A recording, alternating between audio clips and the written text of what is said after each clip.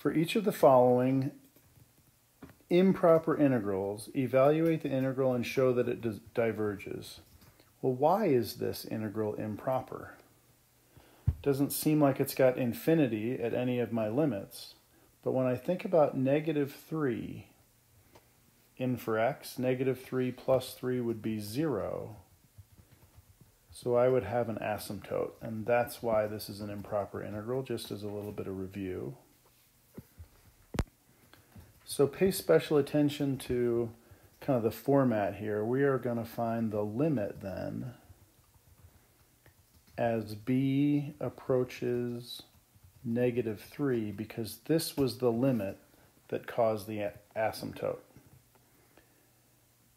Of 4, we want the integral of 4 times x plus 3 to the negative 3 over 2 power so that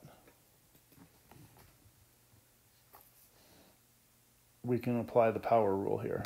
Our power rule says we better add 1 to our exponent. So we're really looking at 4 times x plus 3 to the negative 1 half divided by 1 half which is the same as multiplying by 2 over 1.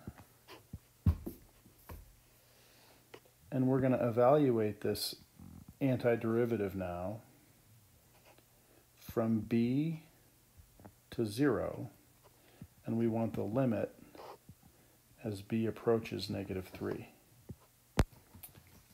So as I was continuing on with this problem, I noticed an error. This is a negative exponent, so when we divide by negative a half, we're multiplying by negative 2 over 1. And so now as we plug our limits of integration in, we have negative 8 over the square root of 3 minus a negative 8 over b plus 3, where we are letting b approach negative 3. And so when this approaches negative 3, this entire denominator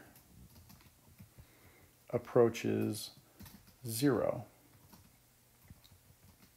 But we are approaching from the plus side of negative 3. So we've got the square root of negative 3 plus plus 3.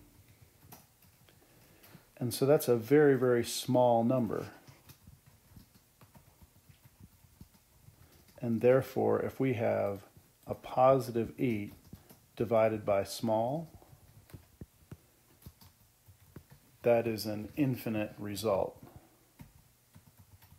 And therefore, we would say that this improper integral diverges.